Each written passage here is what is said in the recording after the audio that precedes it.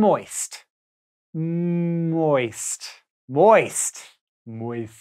If you are uncomfortable with me saying moist so much, congratulations, you're one of the 10 to 20% of people who find that word revolting. Psychologists call that disagreeable feeling word aversion, where seemingly innocent words trigger our disgust. And while it might seem silly to spend time wondering why moist makes us cringe, it's not what we find disgusting can be a big part of who we are. Researchers have linked the targets of our disgust and how strongly we feel the emotion to everything from whether we choose to be vegetarian to our political leanings. Even our senses of morality and justice are intrinsically tied to what we find disgusting. It's a powerful emotion. When you feel disgusted by something, your heart rate slows, you might get a little nauseated, and you tend to withdraw or even recoil from whatever offended you. The yuck feeling is also written all over your face. Like other basic emotions, happiness and anger, for example, the facial expression of disgust is universal. It's an emotion that all humans evolved to show the same way. Biologists think disgust evolved to help protect us from disease, which makes sense if you consider what tends to disgust us. Bodily fluids, rotten foods, slimy things, even bugs could be packed with dangerous microbes just looking for a way into our deliciously vulnerable bodies.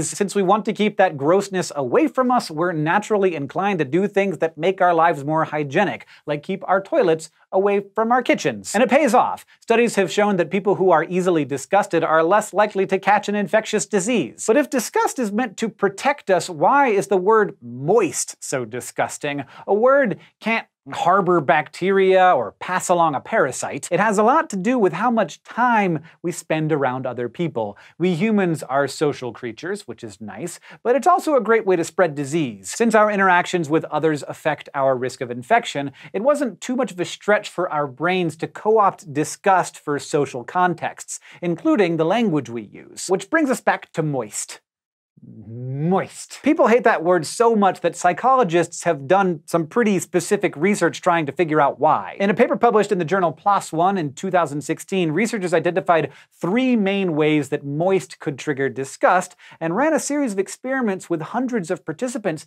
to figure out which one of those three made moist so repulsive. I'm so sorry to the 10 to 20% of you. I'm not even done either. The first possibility is that moist is just gross to say, whether because of what the word sounds like or because of the shape your face makes when you say it. That's what people who found the word moist disgusting seemed to think. About half of them connected their revulsion to the way it sounds. Moist, that like oi and then the st Sounds unpleasant, kind of, right? Moist. But oddly enough, people who had no problem with moist didn't think it was the sound that sets people off. They were much more likely to think the word's connotation was its most disgusting trait. The team also wondered if the disgust had to do with the shape our faces made when we say the word, because some researchers think the connection between our emotions and facial expressions is a two-way street. When we feel emotions, our faces contort accordingly. But the reverse could also be true. If we smile or frown, that could make us happy or sad. And think about how your lips move in the last part of the word moist.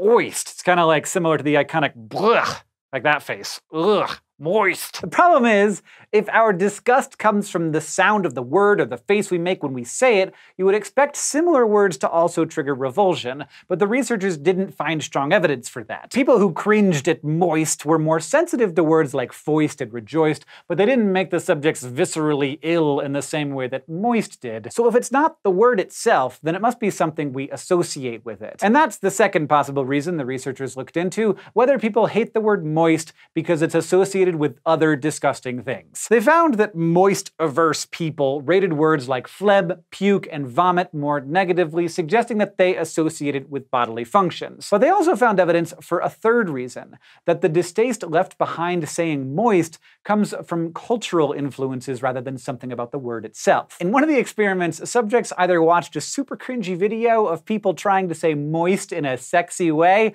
a neutral video that just referred to moist cake a bunch of times, or no video at all. People who saw the cringy video suddenly found the word more disgusting, and compared to other participants, they said they used it less often. Based on the results of all of their experiments, the researchers concluded that moist's ew factor comes from both its connection to bodily fluids and the fact that others are grossed out by it. In the end, it may not really matter if moist or other gross words like crevice or panties bother you, but studies like this can help psychologists learn more about what triggers disgust, which is important because it's connected with how we think about other people. Avoiding things that might get you sick in a social context isn't that simple, and it's influenced by our experiences in the culture we live in. For example, people can be disgusted by things that would otherwise seem random because of negative childhood experiences or because they've been told that they should be disgusted by them. So disgust can help mold individual values and biases. And there are times we might want to fight back against our automatic responses. Avoiding people who are sick could mean that we're sort of programmed to push people away when they need us most. And the urge to avoid the sick can go too far and end up stigmatizing people with certain illnesses or who otherwise don't look perfectly healthy. Plus, disgust doesn't stop with visible signs of sickness. We might instinctively want to avoid unfamiliar groups because our brains think they could expose us to diseases our immune systems aren't equipped to fight, even if that's not actually true, which can reinforce tribalism and all kinds of other problems. And those are just some of the ways disgust can drive our manners and social norms or affect our senses of morality and justice. Bet you didn't think we were going to go here in a video about the word moist. A big part of psychology aims to understand how basic emotions influence our our thoughts and behaviors, and it turns out our disgust with the word moist can tell us a lot about ourselves. Thank you for making it through this entire episode of SciShow Psych, despite the number of times I said moist. It was so many times. If you are interested in learning more weird things about our brains, boy, do we have a lot of episodes already in this not very long time that we've been making SciShow Psych. You can go to youtube.com slash SciShow Psych and subscribe. Thank you to all of you who have already done that. We have loved watching this channel grow.